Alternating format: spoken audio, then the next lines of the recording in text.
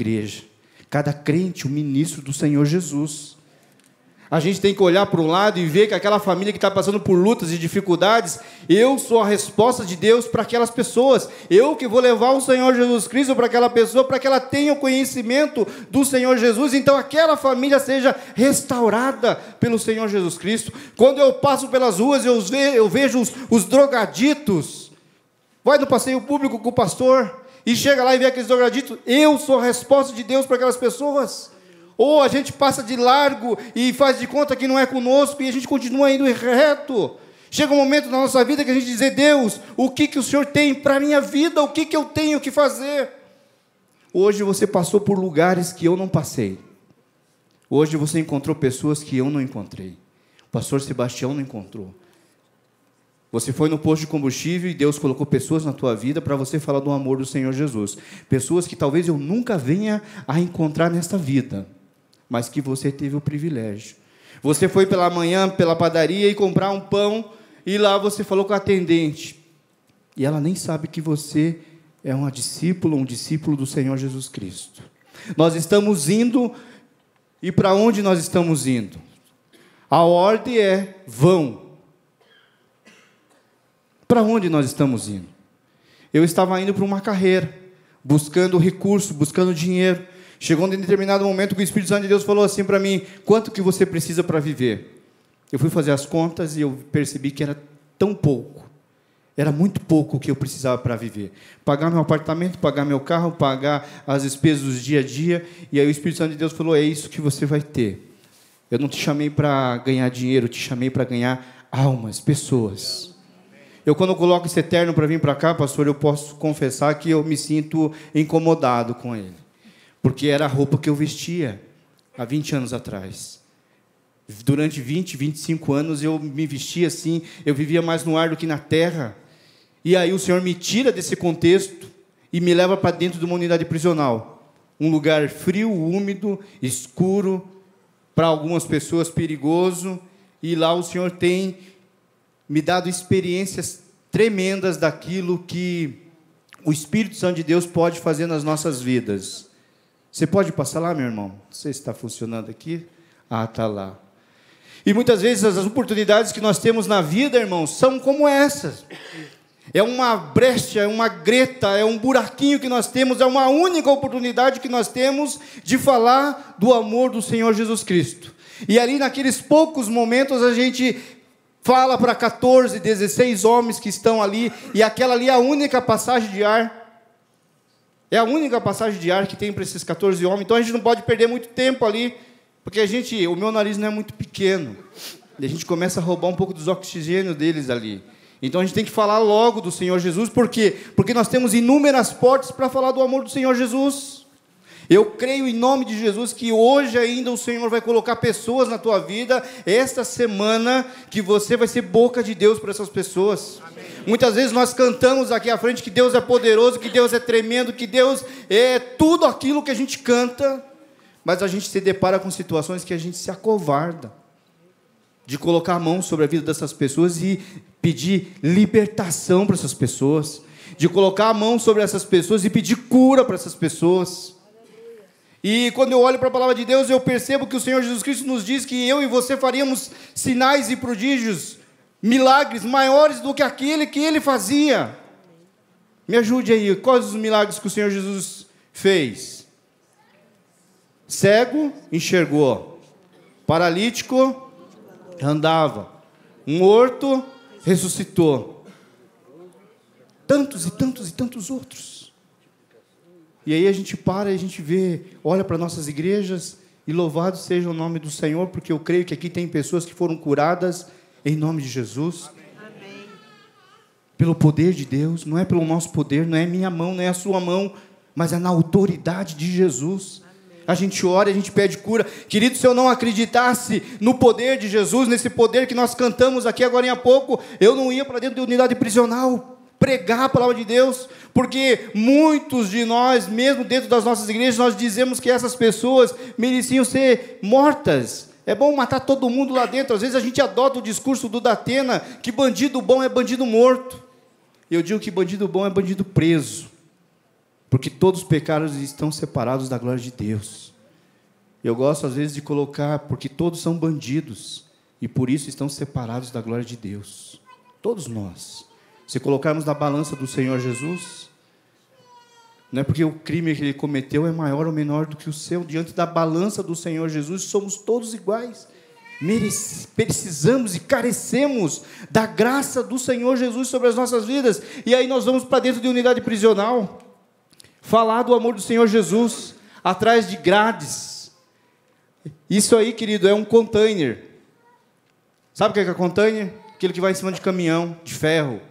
Aí ah, o governo do estado não tem dinheiro para né, investir, porque ele esquece que esses homens, essas mulheres, daqui 10, 15, 20, 30 anos no máximo, eles vão sair de lá. E o governo não está preocupado se eles vão sair melhorzinho ou piorzinho. Ali dentro tem espaço para seis, colocam 14, 16, 18. Ali a gente está pregando a palavra de Deus, os ratos estão entrando e estão saindo. A maioria ali, irmãos, estão com tuberculose nessa unidade prisional aí, CCP. Tá? A maioria tem algum tipo de doença ali, vai transmitindo para um e para outro. Eu costumo dizer que nós não defendemos preso, não, nós vamos lá e condenamos o pecado. Nós acusamos e mostramos, ó, isso aqui, você está aqui porque você é pecador e porque você é pecador, você foi por um caminho, mas há esperança para você. Jesus Cristo pode te tirar dessa situação, mudar a história da sua vida. Ontem eu estava falando com um rapaz que ele está há 11 anos preso. Já não tem mais família nenhuma pastor Sebastião foi, um, foi o responsável, porque na ocasião, se me falha a memória, o pastor era o presidente do Conselho de Missões, quando a compra daquela casa para abrigar mulheres que saem do presídio passou sem nenhuma discussão e foi melhor do que eu tinha planejado, porque os planos de Deus são outros. E essa casa foi comprada para as mulheres, mas o meu sonho é que os homens também tenham uma casa, para que a gente possa receber esses homens e começar, começar a cuidar desses homens. Ali a gente pode testemunhar e falar do amor do Senhor Jesus, queridos. Várias unidades prisionais.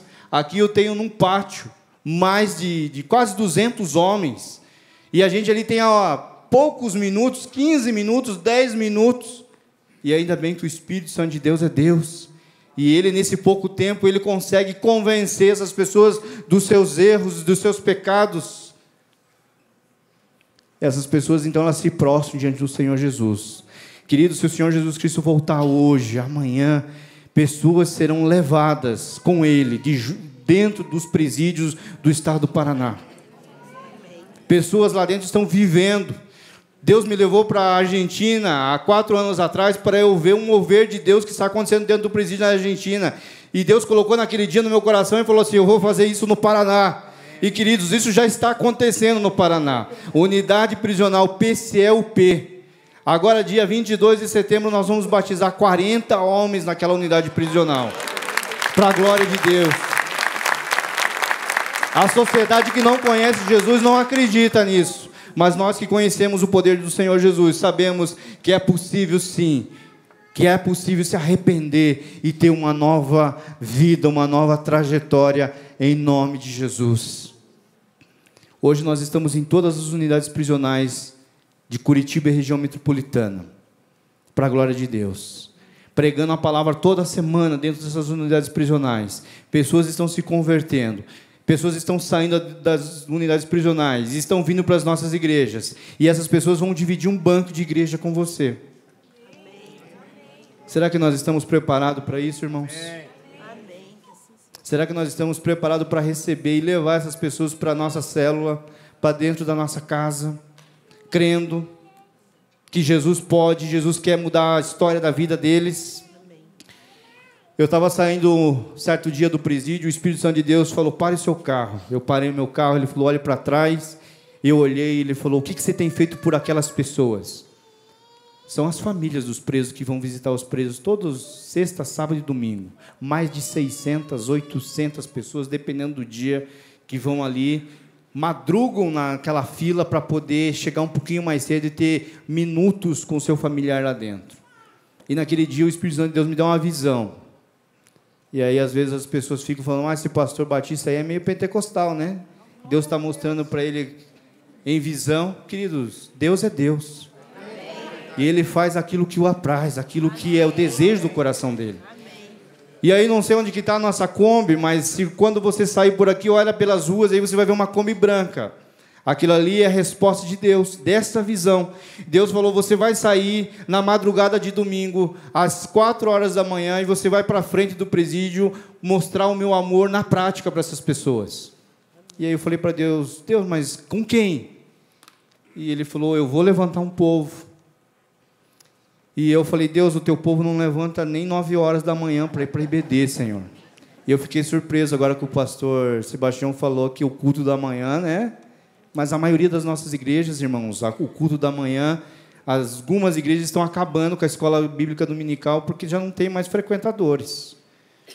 Mas o Senhor que nós servimos, Ele é todo poderoso, Ele nos surpreende. E hoje a gente está passando de 200 voluntários que amanhecem, saem das suas camas nas noites frias, e Curitiba, Piraquara, é frio, irmãos. E vão para frente de presídio para simplesmente dar o ouvido para que aquelas mulheres de tanto sofrimento possam falar e abrir seus corações, ou abraçar aquelas mulheres e orar com elas e começar a caminhar com elas.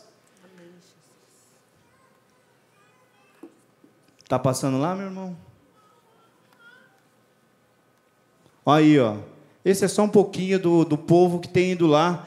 A gente está com aí, se eu não me engano, 19 ou 21 igrejas envolvidas nesse projeto. Pode passar?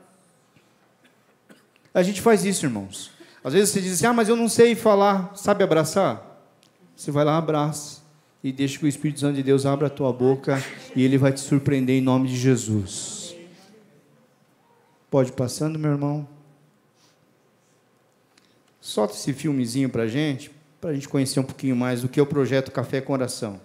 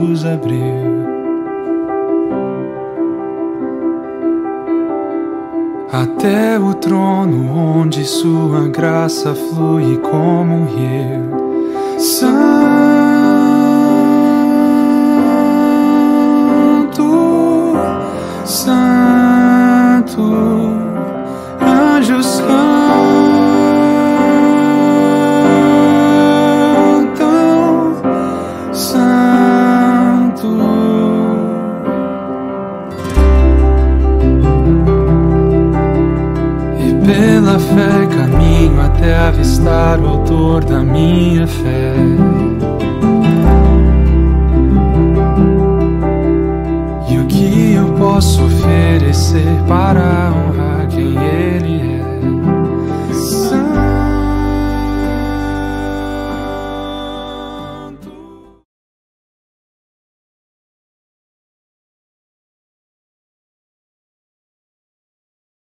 Quando não tinha esse trabalho, as visitas começavam a entrar dentro do complexo penitenciário lá pelas 8, 8 e meia, 9 horas da manhã.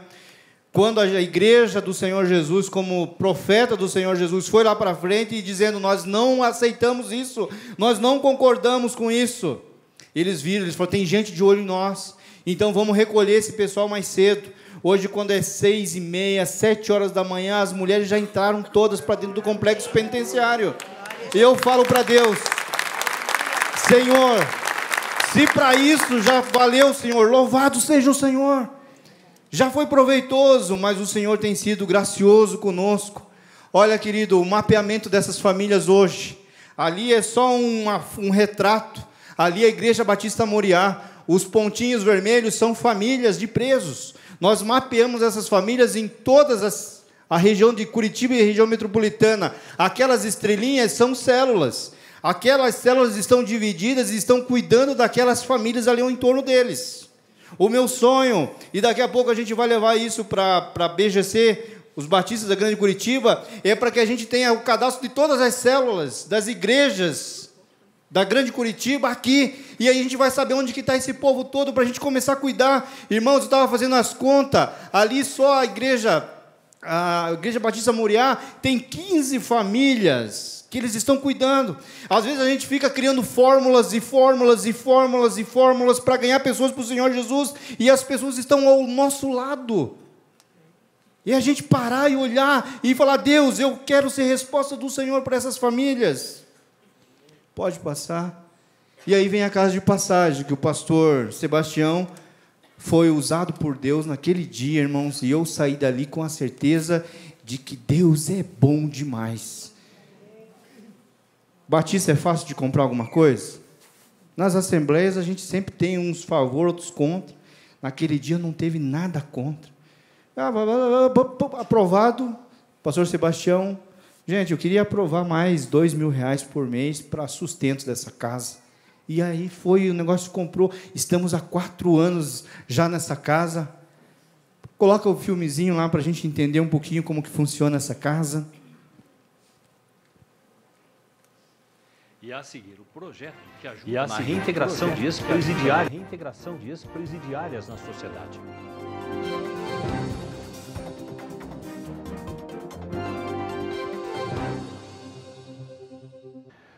Hoje, na nossa boa notícia da semana, vamos conhecer a casa de passagem da Associação Social Reconstruindo Sonhos. Nessa casa, ex-presidiárias encontram uma oportunidade real para voltar à sociedade, longe do crime.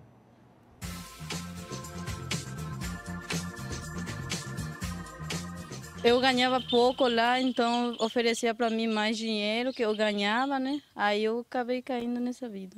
Foi assim que esta paraguaia foi presa por tráfico de drogas no Brasil. Depois de ficar cinco meses na penitenciária e do nascimento da filha, ela está em prisão domiciliar com tornozeleira eletrônica nesta casa em Colombo, região metropolitana de Curitiba. Aí eu só pretendo cuidar bem da minha filha e mostrar para ela que eu sou mãe dela, né? E ela para nos acontecer com ela que eu passei, porque é muito difícil essa vida. Como não pode sair, a jovem de apenas 20 anos trabalha no bazar, onde a venda das roupas doadas ajuda a manter a casa de passagem. O local tem capacidade para nove mulheres. Aqui elas são responsáveis pelo quarto onde ficam, pelo cuidado com os filhos e se revezam na manutenção. Quando conseguem a liberdade definitiva, continuam recebendo ajuda para conseguir recomeçar. Então elas vêm para cá com a tranquilidade que elas não vão ter que pagar nada depois que elas saírem daqui. Pelo contrário, elas trabalhando tudo que elas arrecadarem nesse período que elas ficarem na casa, isso vai servir, com, vai servir como um capital inicial para elas começarem a vida delas lá fora. Sou, irmãos, dentro do meu apartamento, 46 metros quadrados. Certo dia eu fui para o presídio pela manhã, eu preguei, Preguei à tarde num outro presídio, saí do presídio, peguei meu carro, a minha carretinha, fui carregar móveis para mobiliar a casa daquelas pessoas que saem do presídio.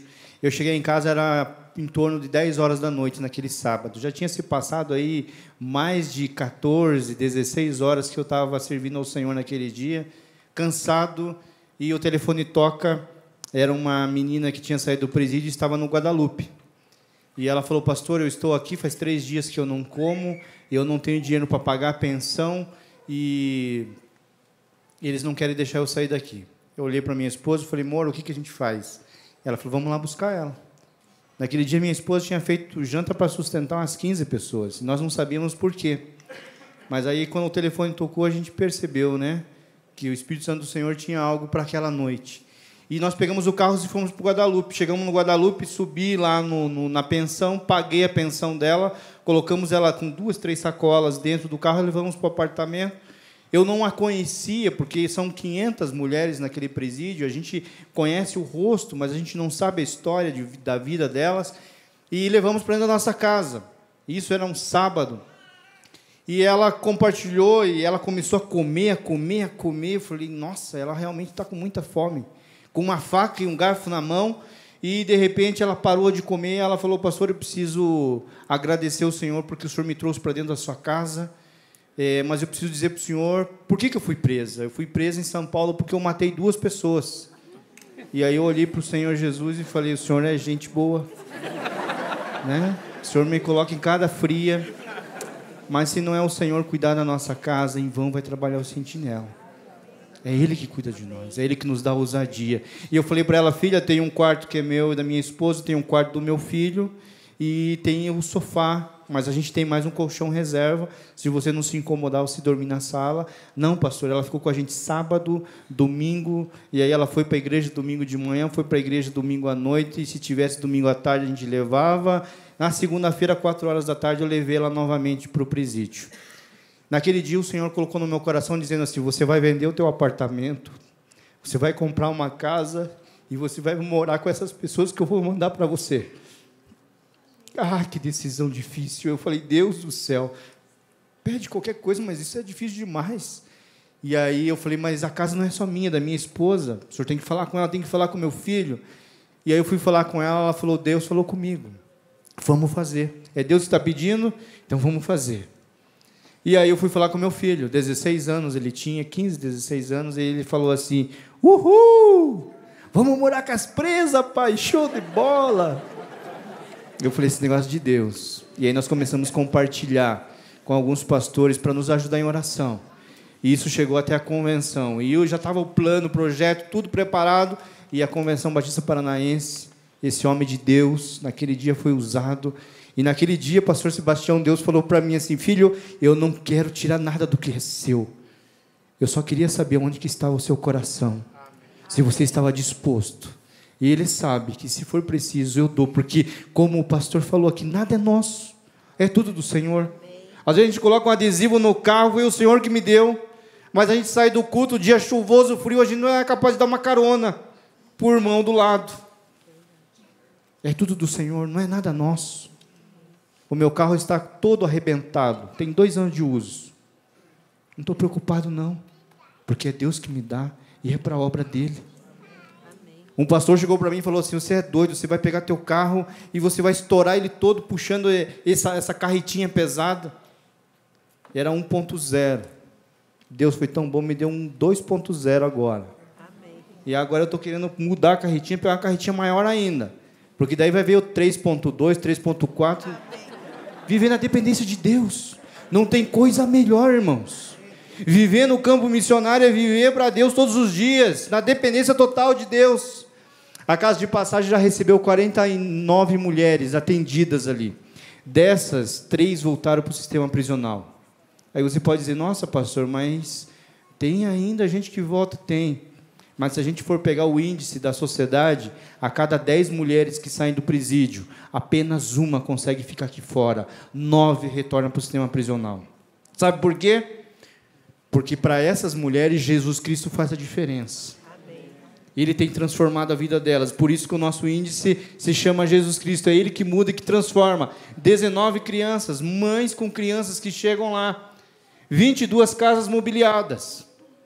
Um dia eu fui em Campo Largo, cheguei em Campo Largo, depois, irmãos, eu queria que vocês abraçassem minha esposa. Eu não sei se ela está tá lá atrás, ela. Desse um beijo nela e, e falasse uma palavra de Deus para ela. Uma vez eu fui em Campo Largo, Cheguei em Campo Largo, fui visitar uma menina que saiu da prisão. Ela estava morando num um e meio por um e meio. Ela estava dormindo em cima de um papelão. E no canto, não tinha móvel nenhum, no canto tinha um quarto de melancia. E ela falou, pastor, eu comi essa melancia ontem, eu comi ela hoje de manhã, eu comi ela no almoço, eu vou tomar, eu vou comer ela agora no almoço, e ela tem que durar a semana toda, pastor. Porque é a única coisa que eu tenho. Nessas horas, irmão, não adianta você colocar a mão na, nas costas dela e dizer assim, irmão, eu vou orar por você. Deus pode fazer? Pode. Mas nessa hora a gente tem que ser ativo, né? a gente tem que ter ação. E eu fui para casa com meu coração incomodado e cheguei para minha esposa e falei, amor, a situação é assim, assim, assim. E ela falou, vamos pegar nossa geladeira. Irmão, é uma dica para você. Quer trocar de geladeira? Fala para o marido, cutuca ele diz assim, ó, Deus falou comigo hoje que é para você dar essa geladeira para o pastor Fabiano, que tem gente que precisa. A minha esposa falou assim: pega a geladeira, pega tudo que tem no congelador, pega tudo que tem embaixo, vamos na dispensa lá, pega tudo que tem lá, vamos juntar tudo e vamos levar. Posta no Facebook aí que precisa de cama, que precisa disso, que precisa daquilo. No mesmo, no mesmo dia, no dia seguinte, a casa dela estava mobiliada. Hoje a Verônica deve estar ouvindo essa mensagem pelo Facebook. Ela mora em São Bernardo do Campo hoje e está caminhando com o Senhor Jesus Cristo. Eu e você somos respostas do Senhor Jesus para a nossa geração, para a tua geração, para os teus vizinhos, queridos. Não dá para a gente deixar para que alguém faça. Se todo mundo pensar dessa forma, queridos, o nosso Brasil está indo para um colapso. Por mais que a gente ore, por mais que a gente busque a Deus, aqui os nossos vizinhos, a Venezuela está invadindo o Brasil porque lá já não tem mais como viver. E eu vou confessar para vocês que eu tenho orado para que venha perseguição sobre o Brasil, para que a gente possa realmente saber quem que é o joio e quem que é o trigo.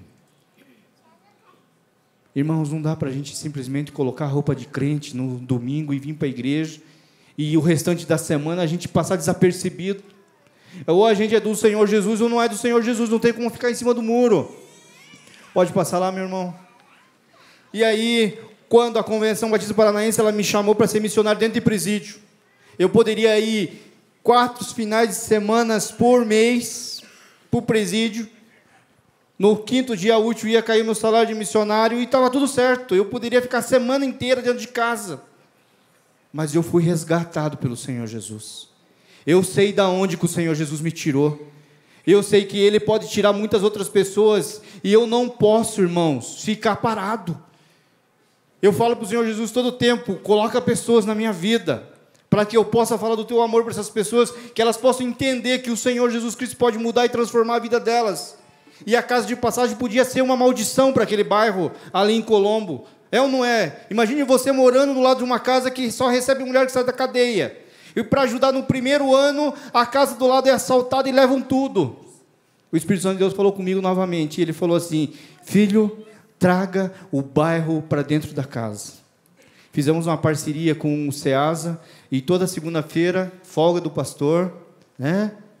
Eu vou lá para o SEASA pegar frutas, verduras e legumes para abençoar a vida da população de Colombo ao redor da casa de passagem. Pode passar o filme 3, meu irmão?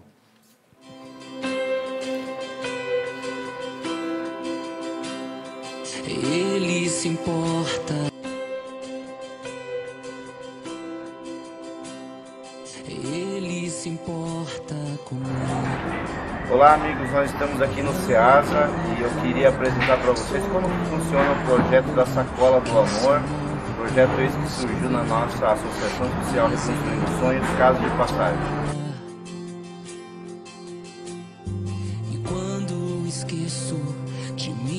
aflições ofuscadas por sua glória. Posso perceber o quão lindo tu és e quão grandes seus afetos por mim. Oh, como ele nos ama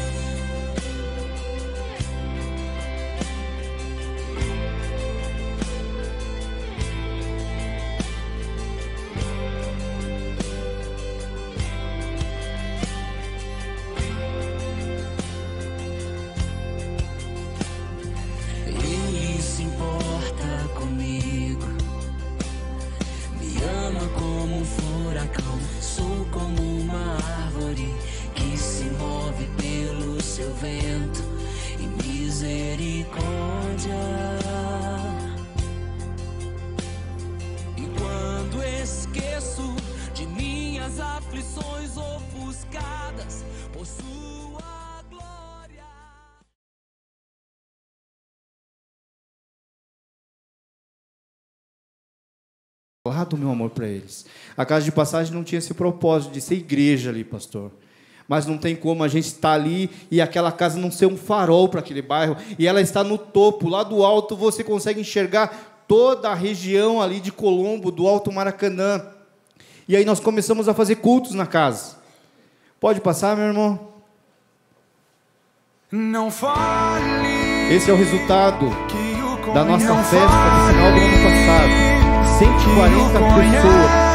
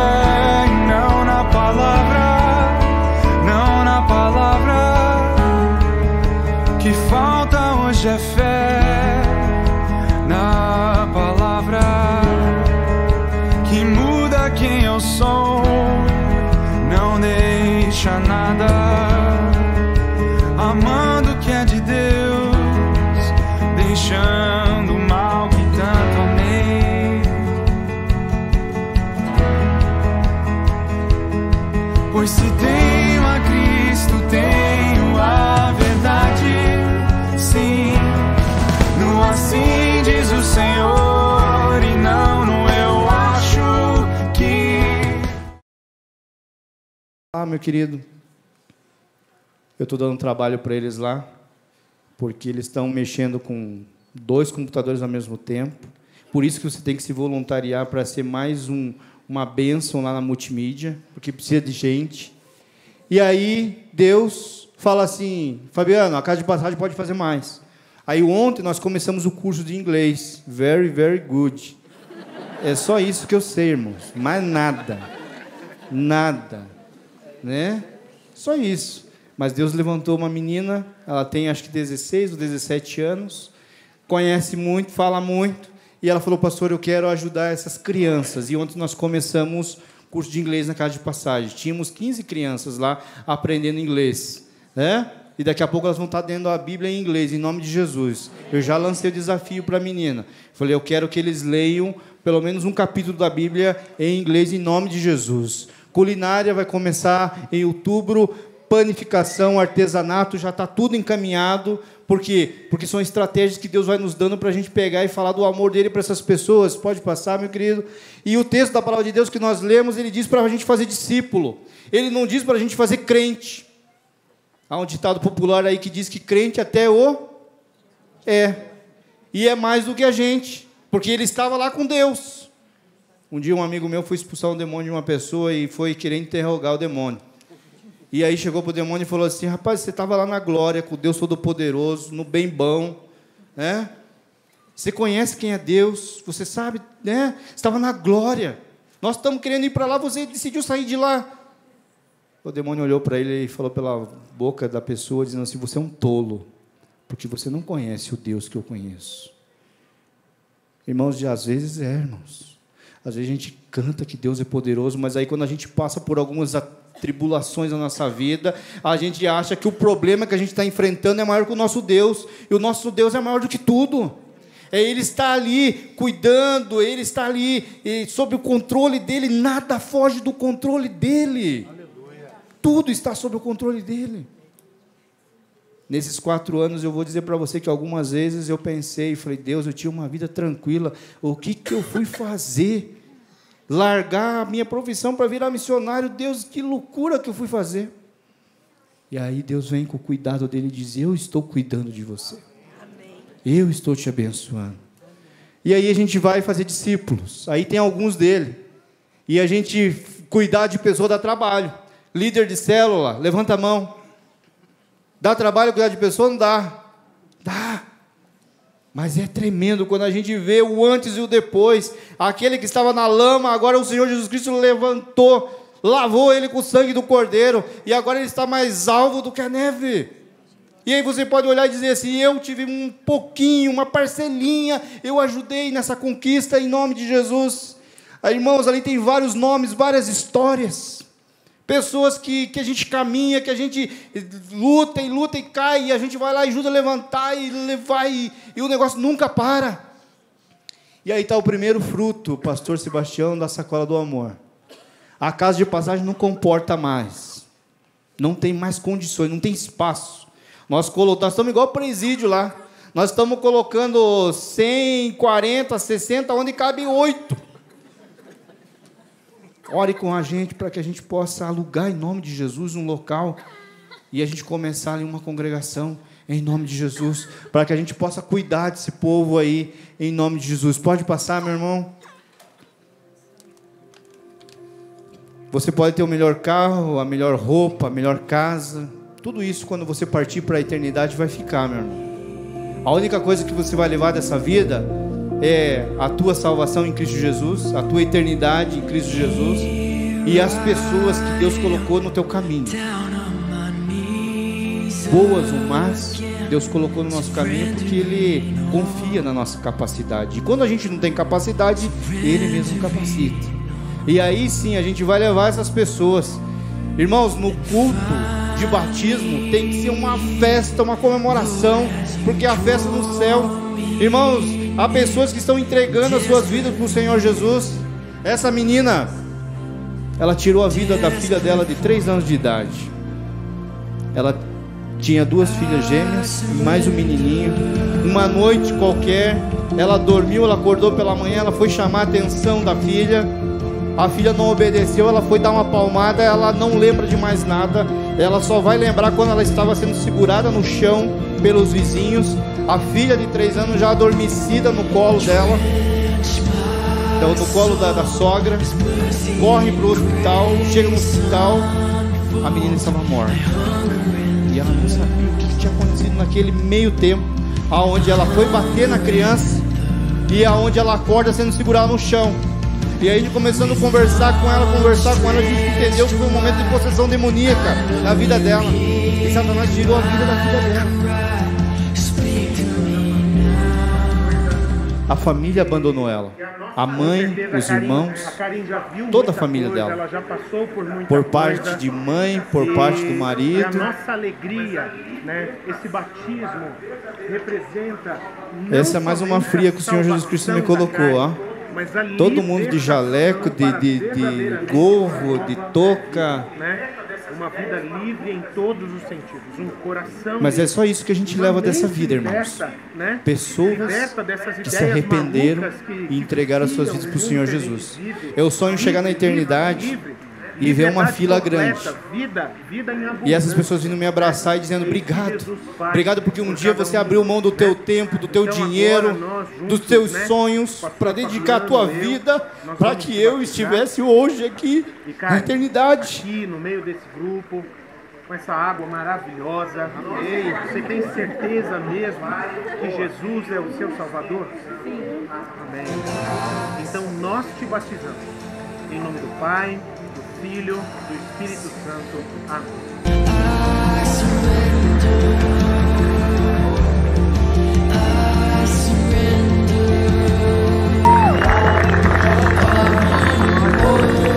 Alegria, vida nova.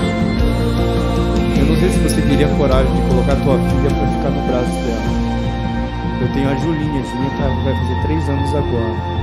E a Karen cuidou da Júlia durante o dia, porque Jesus Cristo mudou a vida dela. Jesus Cristo transformou a vida dela. Mas a gente precisa acreditar no poder transformador do Senhor Jesus. Senão a gente não vai, irmãos. Senão a gente não faz. Pode passar, meu irmão? E aí, às vezes, eu não entendo algumas coisas que acontecem. Trabalho tremendo que o pastor Herbert faz.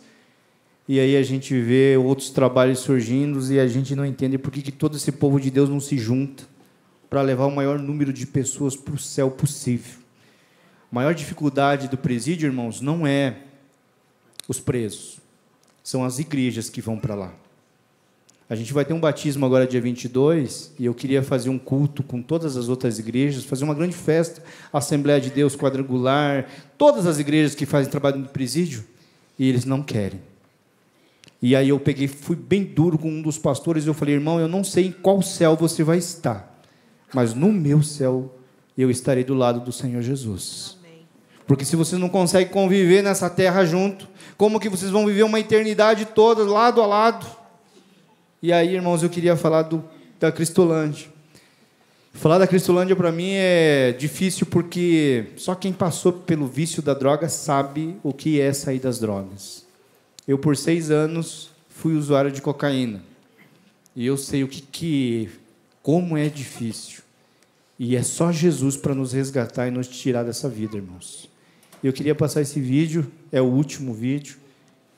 Na Grande Curitiba, há 2.700 moradores de rua. E muitos deles estão envolvidos. Na Grande Curitiba, há 2.700 moradores de rua. E muitos deles estão envolvidos com as drogas. Nós temos uma importante missão que é resgatar a dignidade dessas pessoas. O papel do projeto Cristolândia é esse: restauração, resgate e transformação dessas pessoas que hoje precisam conhecer o amor de Deus. O papel da igreja é seguir o exemplo de Jesus. Jesus, quando olhava as multidões, ele tinha compaixão das pessoas. E nós, quando decidimos, como povo batista, assumir um projeto como o Cristolândia, nós estamos seguindo o exemplo do Mestre, que é resgatar aqueles que estão perdidos, a resgatar aqueles que precisam de uma transformação de vida. Eu trabalho aqui na Cristolândia, na chácara, é, de coordenador, e nós começamos aqui o trabalho em abril, e temos hoje ah, já 10 acolhidos. Esse trabalho tem sido desenvolvido com bastante carinho, bastante amor, que é isso que eles precisam, né? Estar envolvido nesse projeto é o amor de Deus para com as pessoas. Esse trabalho da Projeto Cristolândia, ele só terá uma continuidade com sucesso, né? Se as igrejas entenderem esse projeto e participar conosco na adoção missionária, na adoção missionária é, mensal. Essa adoção missionária mensal vai dar sustentação a esse projeto, principalmente aos missionários que já atuam nesse projeto. Né? É interessante também que quando sua igreja participa do plano cooperativo, ela também está participando do projeto Cristolândia. E além disso, nós temos a oração. A igreja pode orar, pode de uma forma é, geral estar olhando esse projeto como um projeto que partiu do coração de Deus para a, o coração de todos nós batistas aqui do estado do Paraná. Eu sou um dos missionários da nossa Convenção Batista Paranaense aqui na Cristolândia. É, eu sou um dos educadores sociais e o meu trabalho é direto com os nossos alunos. E o meu trabalho com eles é o do, do aconselhamento pessoal, da, do discipulado, do acompanhamento no dia a dia, nas atividades. Tudo que nós fazemos aqui tem um objetivo, tem uma intencionalidade nós precisamos de mantenedores de oração. Orem por nós, missionários, orem pelos nossos alunos. Uma outra forma que você pode nos ajudar, que os irmãos podem nos ajudar, é nos adotando financeiramente. Precisamos do investimento dos irmãos. Deus confiou a mim e a você esta grande tarefa missionária. Portanto, aceite o desafio de resgatar vidas para Jesus. Jesus disse que onde estiver o vosso dinheiro, ali estará o seu coração. Portanto, se você investe na obra missionária, você tem o coração na obra do Senhor. Portanto, agora, nesse momento, onde você está, pegue a ficha de adoção, preencha, faça um alvo de fé, aquilo que você vai sentir alegria de entregar para o Senhor. E assim você vai estar participando desta grande obra de libertar vidas da escravidão das drogas e de estado de risco em que estão vivendo. Porque o Senhor como sempre, tem estado com o seu coração atento, o seu ouvido atento àquilo que Deus tem falado. A Tailine é a cuidadora da casa, o Elton é, são os cuidadores da casa, eles que moram hoje. Aqui, ó, essa é a Júlia. Essa é a Júlia, figura. Hoje ela está comportada.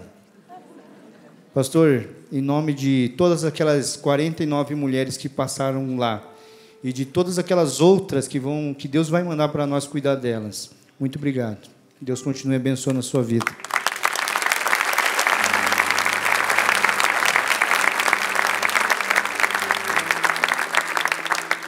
Meus irmãos, a Alameda já está, tanto com o pastor Hermes, a Alameda está também na Cristolândia. Nós temos um missionário lá, sustentado pela igreja. E a igreja tem estado aberto com cestas básicas e outras coisas, mas vocês puderam ver que é muito mais além. Ofertar é a parte mais fácil. Você tira uma nota da sua carteira e você se sente livre. Já ajudei. Agora, imagine quem tem que liderar uma equipe para levantar às quatro da manhã, mobilizar, organizar, abrir mão do conforto e manter, porque o desafio também não é começar. Começar nós somos bons. Manter. Eu lembro quando a casa foi projeto, lembro da casa quando abriu, desenvolveu. Teve um ano, acho que tem uns dois ou três anos, né? nós demos um terno de presente para ele. É esse aí? Meu Deus, para ele ir buscar o terno, eu tive quase brigar com ele. Eu fui três vezes na loja, já buscou? Não. Liguei para ele, ou você vem buscar o terno, ou vou tomar o seu terno. Aí ele foi buscar o terno, porque não tinha tempo nem para receber o presente. Mas eu gostaria agora, antes de ele concluir, de fazer o seguinte: pode trazer, Cláudia, aquele, aquela taça. Irmão, nós vamos tirar uma oferta. Ele falou que o carro dele está uma droga. É um carro novo, dois anos, mas está todo precisando de uma revisão. Vamos tirar uma oferta para fazer essa revisão do carro? A igreja já depositou uma oferta para ele. Então, isso, isso vamos fazer aqui não é oferta da igreja, a igreja fez isso. E a igreja honra muito bem os missionários quando vem aqui. Mas agora nós vamos tirar uma oferta para colocar esse carro em estado muito bom. Você pode fazer isso? Pode? Pastor, eu estou sem dinheiro. Vai lá no estande, tem uma maquininha lá, você pode trazer, porque a igreja vai depositar na conta dele o que você passar no cartão lá. Sem problema nenhum. Então, se você pode passar o cartão, pode passar, porque ele, com esse ticket que você vai colocar aqui, a igreja vai depositar na conta dele. Sem problema nenhum, tá bom? Então vamos, se você estiver preparado, pode fazer isso. Nós vamos fazer, tirar essa oferta e vamos abençoar, vamos consertar esse carro. E já, irmãos, você que veio aqui à frente, já fica aqui à frente. Queria orar com você. Você que veio aqui nos abençoar, também eu quero orar, abençoando a sua vida. Pastor Maurício, vem cá. Você que não vai vir pela questão financeira, eu, em Deus, eu gostaria que você levantasse do teu, da tua cadeira, da tua poltrona hoje, e dizendo para Deus: Deus, eu tenho levado uma vida daquele jeito, o Senhor sabe, mas Senhor Deus, eu quero fazer diferente. Quando eu sair daqui hoje, Deus, eu quero olhar para as pessoas de uma forma diferente, da forma como o Senhor Jesus olha. E então eu quero ser usado pelo Senhor e ousado no Senhor em nome de Jesus, para a glória do Senhor. Queridos, Deus vai surpreender você. Ele vai te usar de uma forma que você nunca imaginou. Pessoas vão ser curadas por intermédio de você. Pessoas serão libertas do pecado, da droga, por meio de você. Em nome do Senhor Jesus, se o Espírito Santo de Deus está falando com você, ah, pastor, eu ainda não abri a minha casa para ser uma célula. Você está esperando mais o que, meu irmão? Em nome de Jesus, procura os pastores e diz: Pastor, a minha casa está aberta. A minha casa vai ser mais uma igreja. A casa vai ser mais um lugar onde eu vou ganhar pessoas para o Senhor Jesus. Sai do teu banco, sai da tua cadeira. Vem aqui para frente, em nome de Jesus, para a gente orar. A Tailine e o Elton, eles trabalham de segunda a sexta-feira. Fora. As noites, eles deram para o Senhor Jesus. Eles moram na casa de passagem. Não só isso. Eles pegam os vales refeições deles, o dinheiro deles, e eles investem na obra de Deus, lá na casa de passagem. Não sei se Deus vai pedir isso para você, mas uma coisa é certa: o Senhor Jesus Cristo quer que você ganhe pessoas para o reino de Deus. Ganhar pessoas para o reino de Deus, esse é o desejo de Deus para todos nós. Baixa sua cabeça, nós vamos orar. Você que está aqui à frente, estende tua mão para frente. Senhor Deus, o teu povo está aqui de pé, Deus. Primeiro, Deus, porque eles abriram a mão, ó Deus, entregando mais uma oferta, Deus, que vai ser usada para a glória do Senhor. Ó Deus, tu sabe por onde esse carro anda. Deus, tu sabe o que ele tem feito. Deus, em nome de Jesus, ele vai fazer muito mais ainda para a glória do Senhor. Deus, eu quero pedir que o Senhor abençoe, Deus, a vida de cada uma dessas pessoas. Ó Deus, dá, Deus, dobro, triplo, quádruplo para eles, ó Deus, porque o Senhor é o Deus poderoso, o Senhor é o Deus de todas as coisas. Ó Deus, em nome de Jesus, que isso não venha fazer falta no seu dia a dia. Mas, ó Deus, que o Senhor possa prosperar a vida deles, ó Deus, em nome de Jesus. Deus, aqueles que levantaram dos seus bancos estão se colocando à disposição do reino do Senhor. Ó Deus, talvez eles não saibam ainda para onde vão, o que vão fazer, mas o Espírito Santo do Senhor vai mostrar cada um deles. Ó Deus, agora eu quero repreender, Deus, em nome de Jesus, todo o espírito, ó Deus, de covardia, Deus. E em nome de Jesus, ó Deus, liberar sobre a vida deles, ó Deus, o Espírito Santo do Senhor de ousadia, Deus. Que eles sejam ousados e usados pelo Senhor, para a glória do Senhor, em nome de Jesus. Ó Deus, que pessoas vão cruzar a vida deles e que eles vão ser resposta do Senhor para aquelas pessoas, ó Deus. Que ainda hoje eles sejam surpreendidos pelo Senhor quando eles forem sair daqui para fazer um lanche.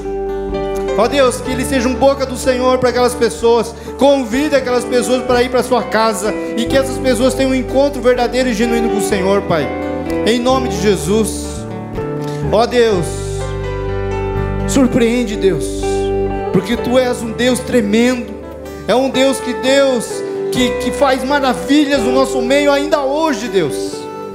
Pessoas vão ser colocadas na vida deles, ó Deus, que estão com doenças, ó Deus, e elas serão curadas pelo poder do Senhor Jesus. Deus, nós te louvamos por tudo que o Senhor fez nas nossas vidas. Obrigado porque o Senhor nos resgatou. E agora, Deus, nos leva, Deus, para que a gente possa fazer isso, levar o amor do Senhor para essas pessoas em nome de Jesus, Pai. E ainda em oração, Pai. O pastor, ó Deus, Maurício, vai estar continuando falando com o Senhor, ó Deus, abençoando. E ó Deus, dando continuidade a esse culto, Pai, no nome santo de Jesus. Amém, Senhor. Irmãos, a ação social acaba de nos informar que tem duzentos e poucos quilos de alimentos que o, o evento Mão Amiga arrecadou quinta-feira próxima passada, está colocando à disposição da casa de passagem, tá bom? Então, mais um propósito. E nós vamos nós vamos informar, vamos informar domingo que vem quanto foi levantado. O, o diácono vai conferir e vai repassar ainda hoje. Ele vai levar a oferta hoje. Queridos, levante as mãos para cá. Fabiano é um amigo meu há 10 anos. Estudamos juntos. Isso sempre ardeu no coração dele. Aulas e aulas, momento de intervalo, ele só falava disso. O coração ardia. Você pode ser um Fabiano. Se você quiser ser verdadeiramente um discípulo de Jesus. Talvez o Senhor não vai te levar para uma unidade prisional. O Senhor já te colocou lá na célula. O Senhor já te colocou lá na, na sua faculdade, no seu condomínio. Se Ele pode fazer isso numa unidade prisional, o que você pode fazer no seu condomínio? Passa nas portas dos seus condomínios, vai orando. Deixa um convitezinho. Eu levo informativo da igreja que sobra aqui e coloco na caixa dos correios. Não sobra um. Amanhã eu vou atender uma, duas pessoas nessa condição que o Fabiano está falando.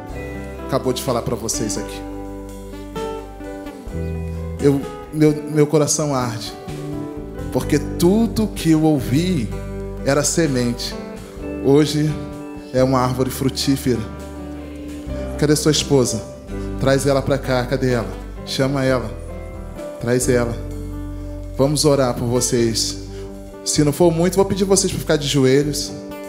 Porque esta igreja ela ajuda sustentando, ela ajuda apoiando. O pai realmente cuida do Fabiano e também sustenta em oração. Ninguém, ninguém pode sair da casa do Senhor sem resposta do Senhor. Então ela vai receber aqui um abraço, um beijo de toda a igreja, não só de uns. Tá tá?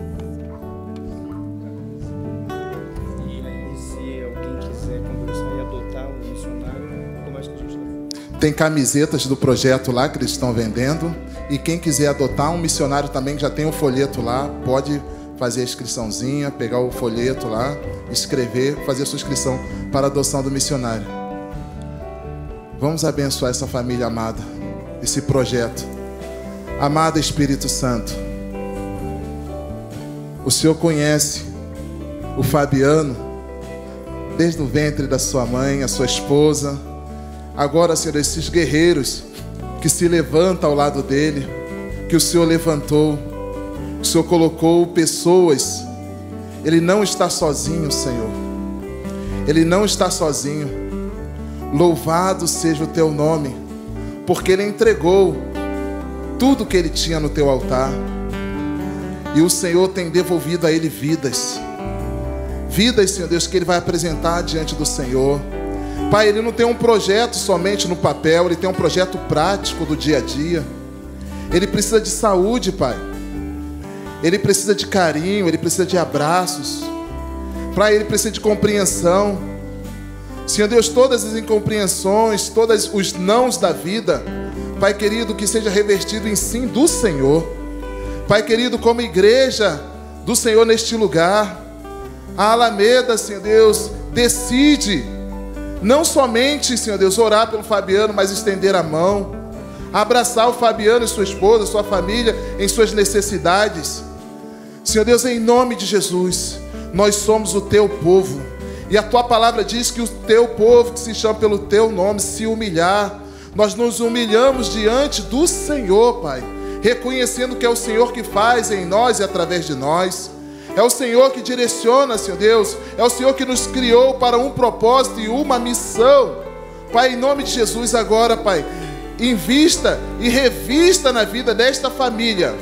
Senhor Deus, eu quero te pedir agora, Senhor Deus, que o Senhor levante mais discípulos obedientes a eles. Mais, Senhor Deus, pessoas fiel à visão que o Senhor tem dado a ele. Mas, Senhor Deus, abençoe, Senhor Deus, ali em Colombo, o lugar da congregação que eles precisam. Senhor Deus, em nome de Jesus, levanta uma pessoa, levanta grupo de pessoas para abençoar esse espaço. Senhor Deus, para que sua igreja, Senhor Deus, cresça naquele lugar. E aquelas pessoas, Senhor Deus, não somente recebam uma recuperação social, mas uma restauração espiritual no propósito único do Senhor na vida deles. Pai, em nome de Jesus, nós aqui reconhecemos a bondade e a graça do Senhor sobre nós. Agora, como igreja, Senhor Deus, vem inflamar os nossos corações, a fazermos discípulos, Senhor Deus, por onde andarmos. Senhor Deus, a ser resposta do Senhor cada dia da semana, em cada lugar que o Senhor nos colocar. Senhor Deus, em todas as coisas nós apresentamos ao Senhor a honra, a glória e o louvor. Senhor Deus, em nome de Jesus, o Brasil só vai mudar pelo Senhor. As pessoas só vão mudar pelo Senhor. A única esperança para o povo brasileiro é Jesus. Oh Pai, faz isso arder em nossas vidas, em nossos corações, todos os dias, todos os dias da semana, todas as horas, os nossos pensamentos, os nossos corações sejam inflamados pelo Teu Espírito Santo. Pai, em nome de Jesus, não nos deixe parar, Senhor. Não nos deixe parar. Mas muda, Senhor, os nossos corações. Muda os nossos corações. Muda as nossas mentes, Senhor. A fim de que o Teu nome seja engrandecido e nós possamos realmente fazermos discípulos do Senhor, Pai. Para a glória do Teu nome, Pai. Para a glória do Teu nome. Faça isso em nós e através de nós. Pai, em nome de Jesus, nós te louvamos por tudo que ouvimos, Senhor. Não vai voltar vazia a tua palavra. Não vai voltar vazia, Senhor. Em nome de Jesus, teremos resultados do que ouvimos aqui. Mas agora, Senhor Deus, não deixe que o diabo, os seus exércitos, roube a semente colocada em cada coração. Em cada coração, Senhor. Oh, Senhor Deus, proteja nossa mente e nosso coração. Para que essa palavra venha crescer, venha germinar e todos os frutos venham se voltar para a honra e glória do teu nome, Senhor Deus. Nós abençoamos esta família, este projeto e te agradecemos, Senhor Deus. Em nome de Jesus. Em nome de Jesus. Em nome de Jesus. Amém. E amém.